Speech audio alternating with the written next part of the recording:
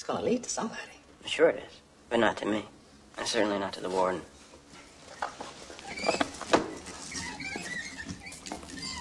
I who? Randall Stephens. Who? The silent, silent partner. He's the guilty one, Your Honor. The man with the bank accounts. That's where the filtering process starts. They trace anything. It's just gonna lead to him. But who is he? He's a phantom, an apparition. Second cousin to Harvey the Rabbit. I conjured him out of thin air. He doesn't exist, except on paper. Andy, you can't just make a person up. Well, sure you can. If you know how the system works, where the cracks are. It's amazing what you can accomplish by mail.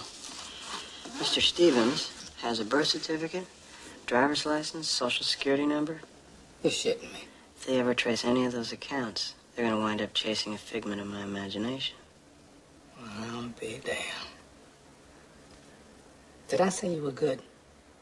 Shit, you're a Rembrandt. You know, the funny thing is, on the outside, I was an honest man, straight as an arrow. I had to come to prison to be a crook. Ah!